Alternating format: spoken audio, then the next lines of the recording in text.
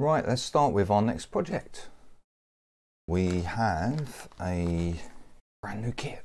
We have the Even VCO. This is the version 0.3.3, which I think is the latest version. I've already had a look on their website before I bought it and downloaded PDFs. So I've got all the assembly manual and all the rest of it, which I uh, presume is actually in the bag.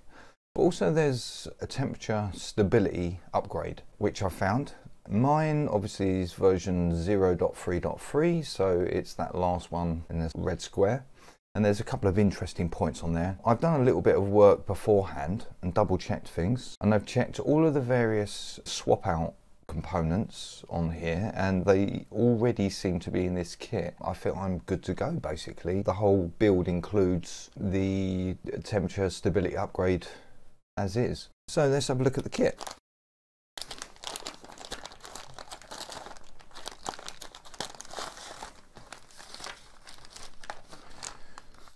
We have the build instructions. The build assembly instructions I assume is in order of build. So they start with resistors. The ones here that I've marked with the pink next to it is basically the ones that are mentioned in the upgrade. So I'm going to start resistors and my rule of thumb is to start with the highest quantity, which is the same order here. It's easier to identify because there's a lot of them. I'm going to double check with multimeter, but this actual PDF guide is brilliant because they also include the codes as well as the values and the quantities. They make it quite easy to identify. So there's 10 100k resistors and they're identified by stripes of brown, black, black, orange, brown. And then there's all the names on the PCB. Main board bag A. So that would be that one then. So that's the resistors and open up main board bag A. I have no idea if any of these are marked. It looks as though they're not. 2, 4, 6, 8, 10. So we've got 10 and then we've got 2, 4, 6, 7. So let's put them to one side for further investigation. I'm going to double check with a multimeter these first resistors should be 100k. So let's go to 200k and let's test one of these.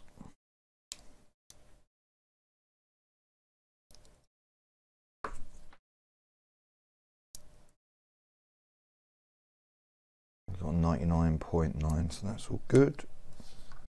And these ones should be 10k.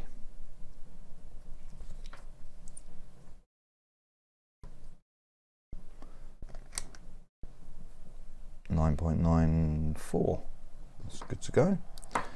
Main PCB which is the one with the square cut from it. Let's start with the 10 resistors. And they need to go into our 16 17 18 etc etc right so let's start with resistor 16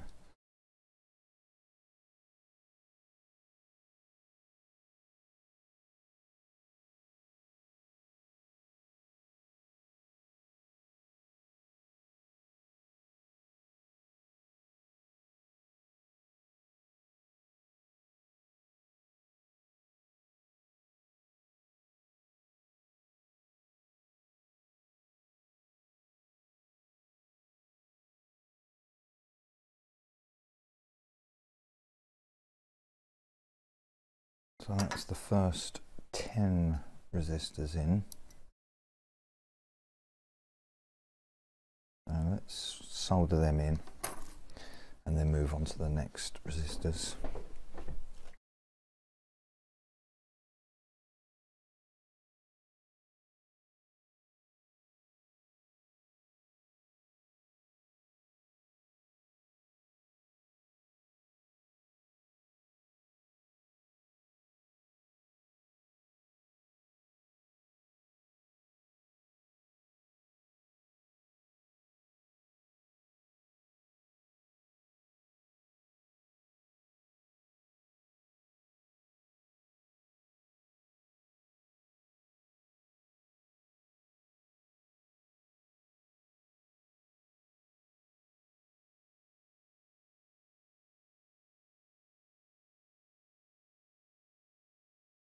So that's the first wave of resistors done.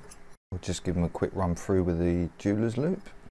So far all those solder joints actually look quite good.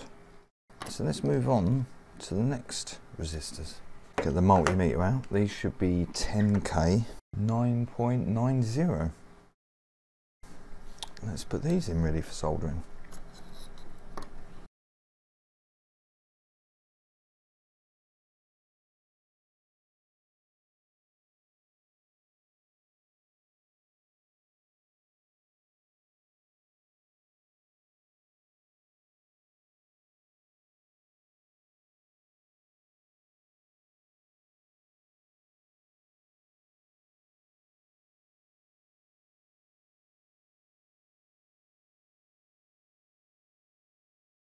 So let's solder them ones in.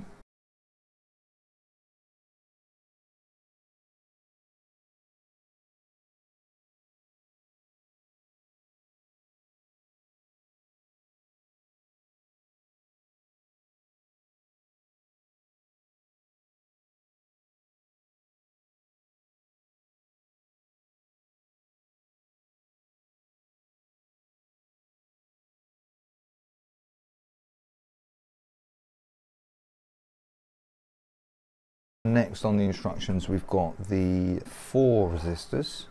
So these should be 22k. 22, there you go, 21.9.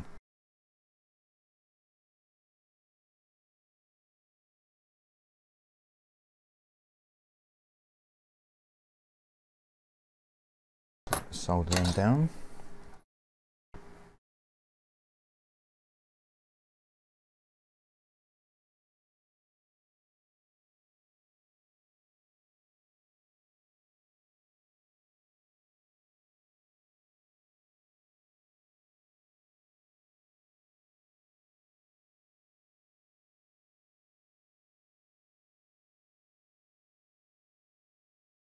So now we move on to the next components.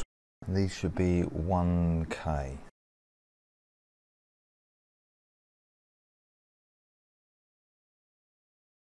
Solder those on.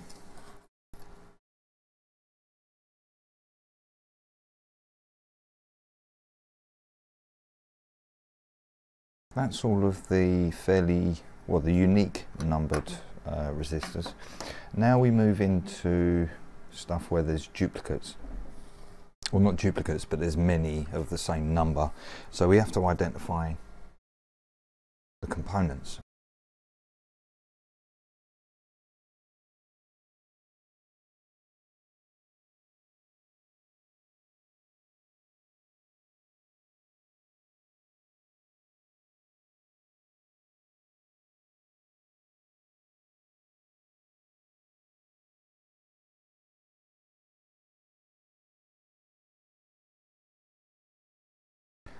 Those ones in.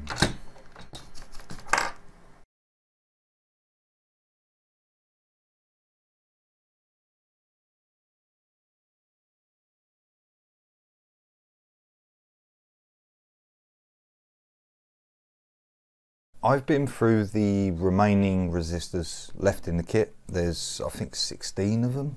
I'm going to put all these parts in now, solder them in, and we're done with all the resistors and we can move on to the diodes.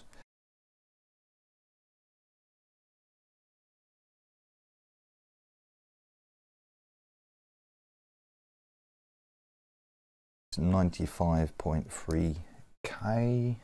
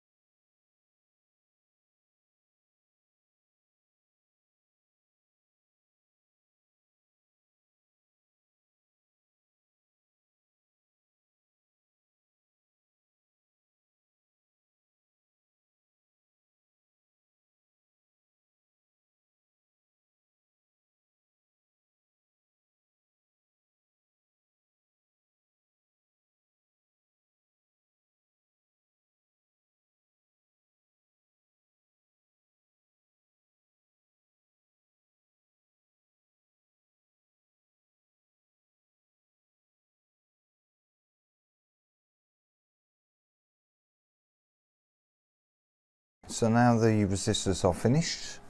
Let's move on to the diodes. We've got six 1N4148s.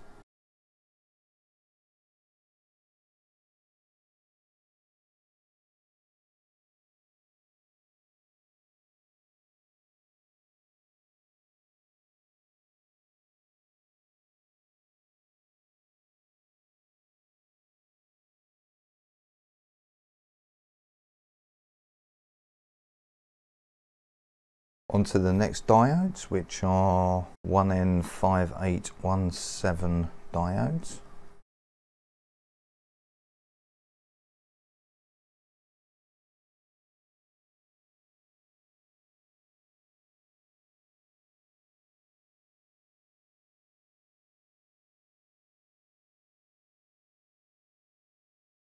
Those seem to be okay. Next up, there's two small ferrite beads.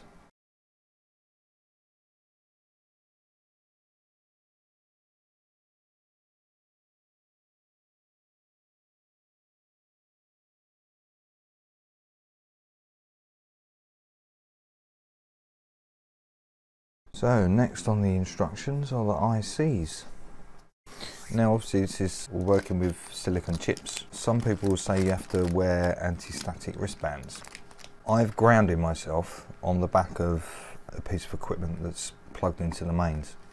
So I don't need to worry too much. The static electricity issue with electronics is basically a jump in potential. So I've grounded myself to the back of a computer. These have been sitting in um, anti-static bags, so I assume that their potential is also very, very low.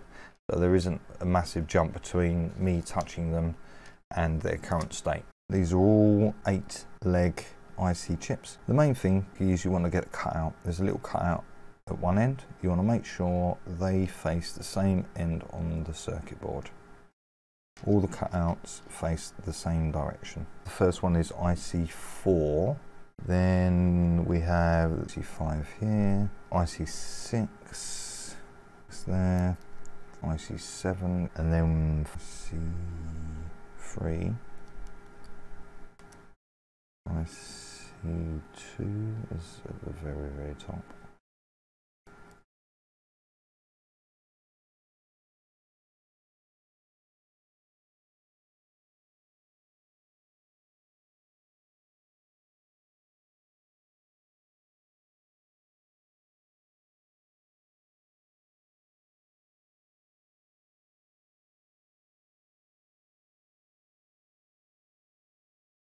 we need to actually place the uh, IC chips now. We need to identify them first of all. The first one is IC4, which is an LM393. This chip down the bottom. Just double check that. It's an LM393. And that goes into IC4. And I bet now that I've soldered it, I can't see it. Oh no, there it is. IC4. Groove is to the left. The cutout on the IC chip is to the left. Legs look good.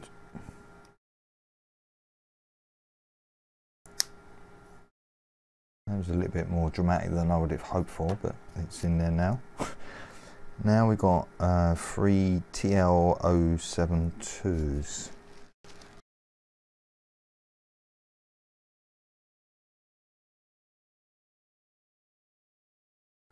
We've got a face. Where's the cutout on these ones? Can't see a cutout on these ones. The dot's to the left bottom, so I assume that's pin 1. We'll leave them out for a sec and move on. So LF412 is what these should be. LF412, LF412. Now these have got a hint, and this is um, this is general rule of thumb for me. The reason I've left them out because I don't know the orientation. There's no cutout. I'm not sure. I'm assuming that that little dent in the left-hand corner is pin one. Fortunately, the next chips we're going to put in has also got that dent, and the cutout is also well, the cutout is giving us indication that it's to the left of those chips. So let's put those two in, IC2 and IC3, which are bound to be these top two, IC2, IC3.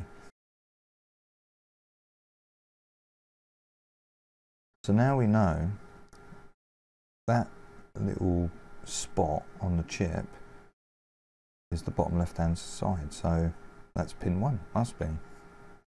So on these, that goes to the left. So sometimes you just, if you're not sure, sometimes it's a good idea to put it to one side and see if you can get any clues um, from similar components as to orientation.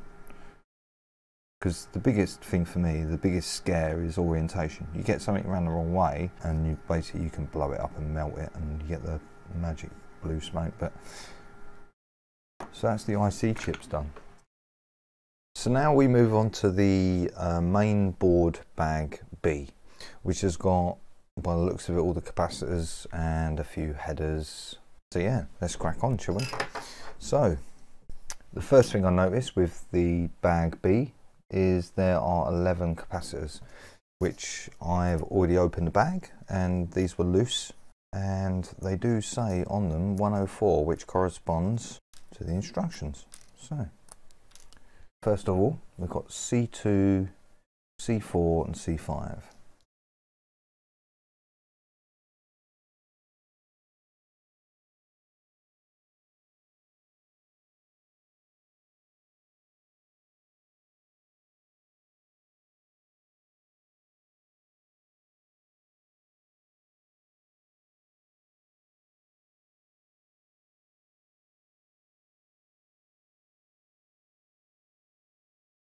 Solder all of them down.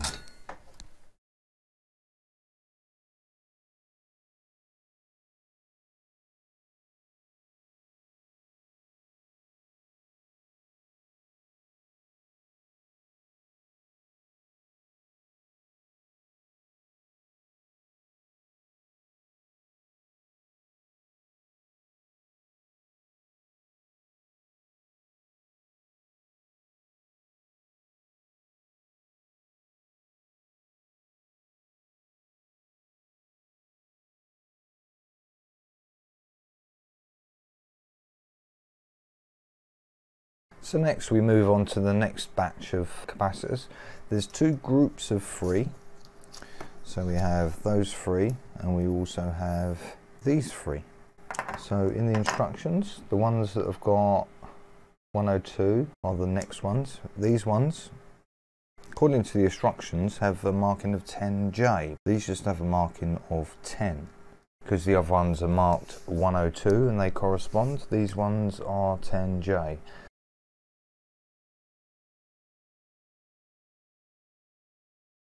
And then we move on to the other three.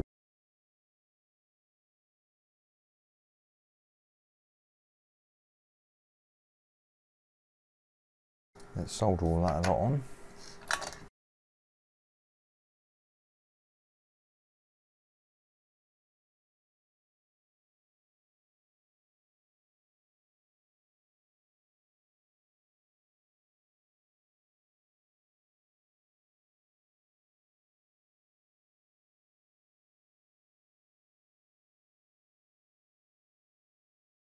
Next we have the 680N capacitors.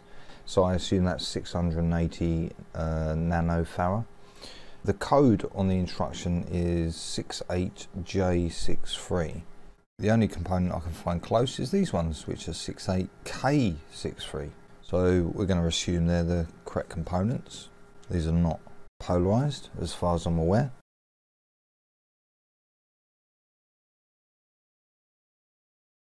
We've also got another two, which are ceramic capacitors, 47p.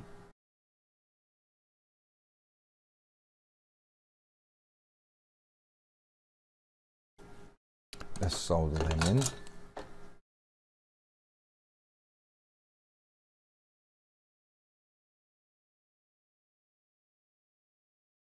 So next we have two single capacitors One is two point. Well, the value, both of the values are the same, but they are different. So we have two of them. There's a red one and a one uh, white one. The white one has got 2N2K100. So that's the next one. The other one is 2200 and marked red. So this one, the 2N2K100 is C21. I assume polarity is not important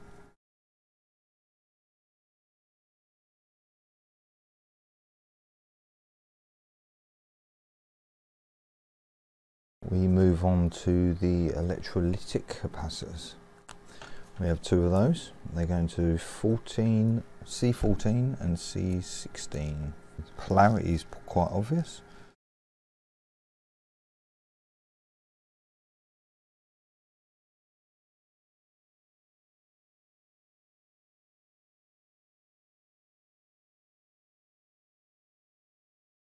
That's the electrolytic capacitors.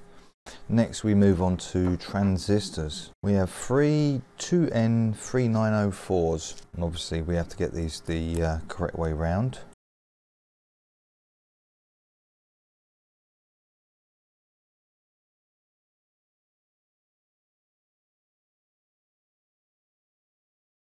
We have the 2N3906. We have two single transistors left. So we've got to work out which one's which. This one is the LM336, which is the, the next one. So this one must be the 2N3906. 2N3906, that's correct. That's T2 on the board.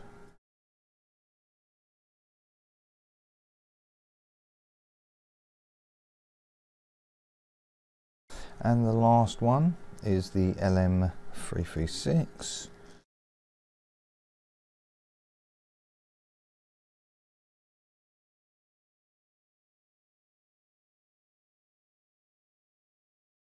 Next we move on to trimmers. Two 10K, which I believe to be these, because there's two of them. And the only other trim I can find is that one, which I think is the next one on the list which is a 1K trimmer and it says in brackets blue. On the board they're named ref underscore ADJ. Solder the trimmers onto the PCB where the silk screen indicates with the screw facing out from the edge of the PCB.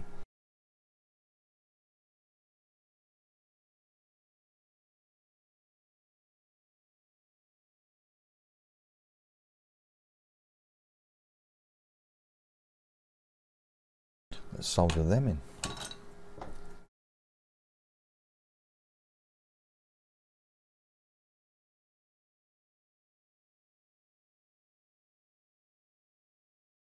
That's the trimmers done. Next up we've got the uh, the male headers, two sets of male headers, 8 pins and 10 pins, which go into main A100 and main B100. A100 is that one? And we have main B100. They're going to be a bit tricky to solder because I'm not sure how I'm going to support them. A bit of uh, masking tape.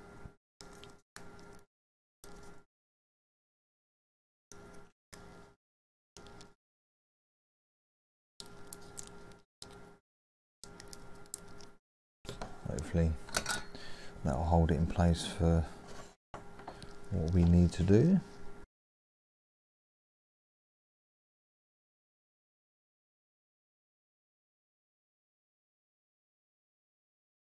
The other connection which is main A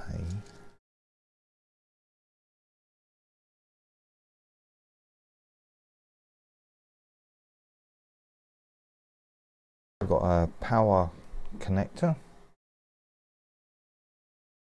goes into power. Which will be that one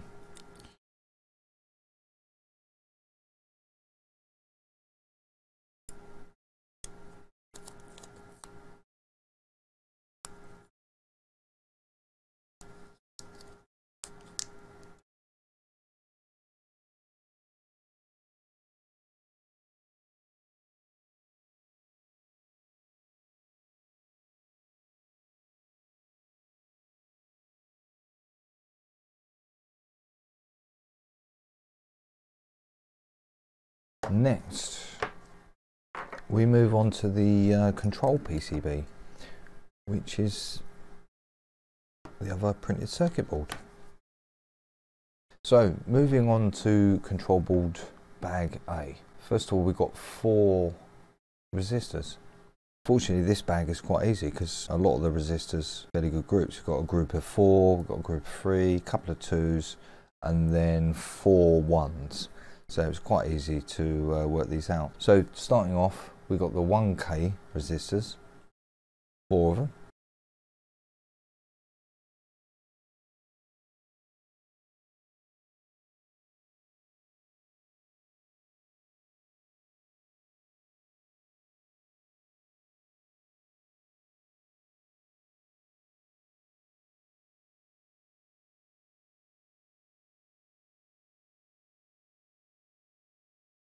Then we move on to the next section. So the next one is 100k resistors, three of them.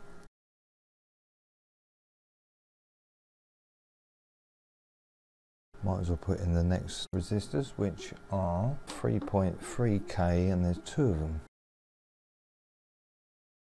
The next two, which are 10k, we'll solder them in.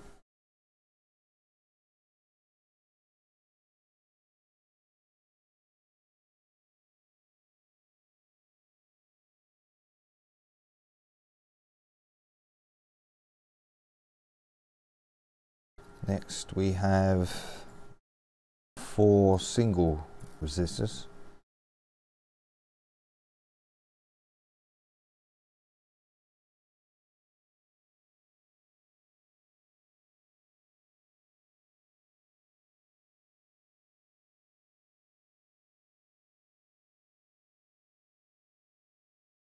We have a 50k brown background Dow 502B.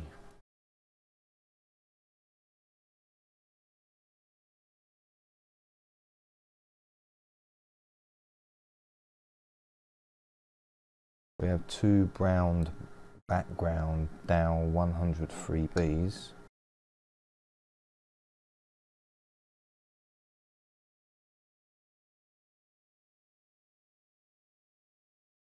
Next, we move on to diodes D100 and D101. Black or white line on the diode, which indicates the cathode, negative side must match the white line on the diode symbol on the PCB. So on the PCB, the white line is that side. And then we have the last capacitors, which are marked 102 and 104.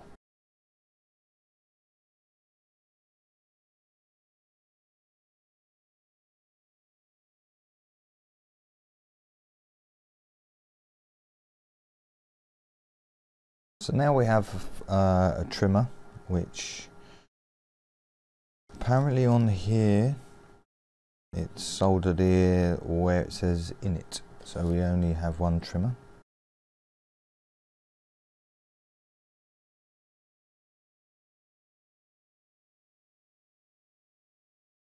Then place the female pin headers over the silkscreen markings at position 2 main A and 2 main B and solder.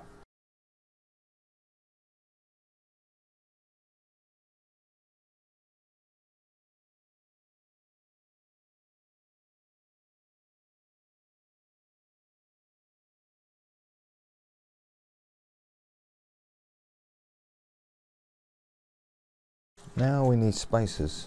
Secure the spacers onto control PCB through the two holes with silver outlines that one and that one with the main body of the spacer on the component side and the nut on the opposite.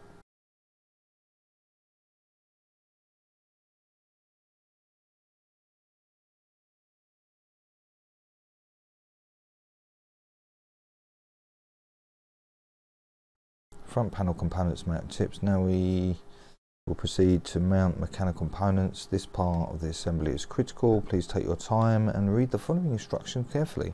These components must not be soldered until they are placed on the PCB and fully attached to the front panel. Place all the mini jacks into the PCB ensuring that they are on the silk screen side. But don't solder them yet. So the silk screen side is that side.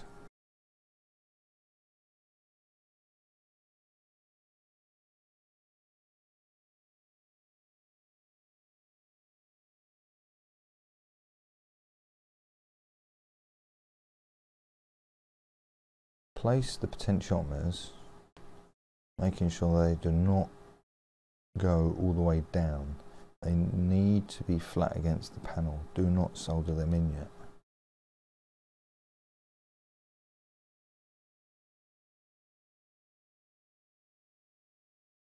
And then the rotary switch obviously goes on as well. Which has got a hell of a lot of connections to it.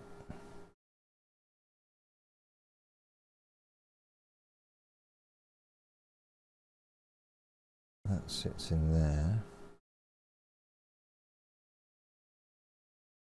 Which I assume is going to be quite a hard one to solder that one. Then once you put it all on attach the front panel to get it all square. So with that I'm assuming I'm going to have to get rid of that. That's in the way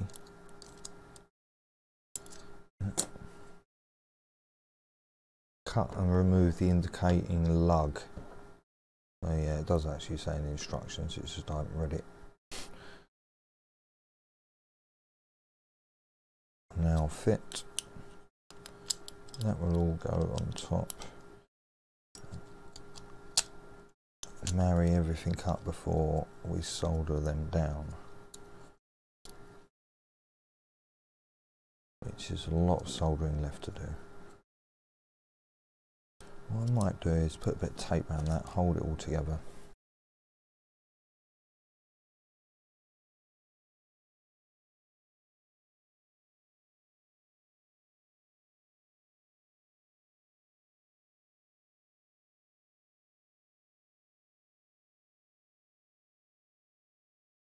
Throw all these nuts on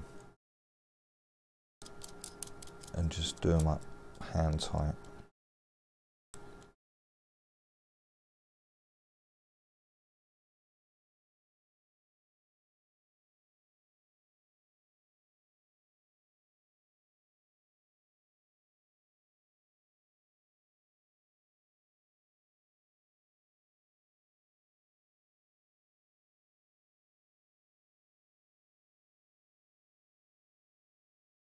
So let's do the last solder joints.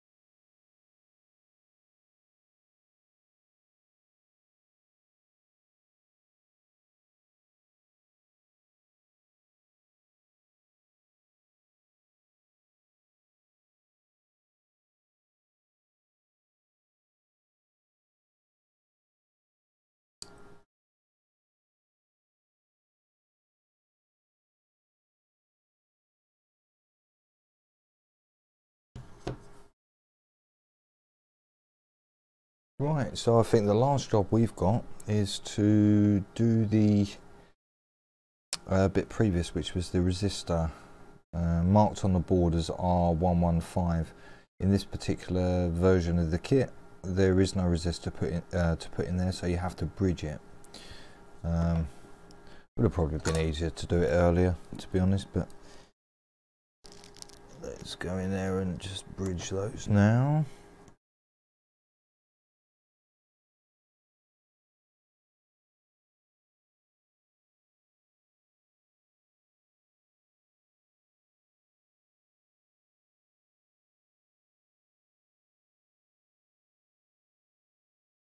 But yeah, that's resistor 115, which is not part of this kit.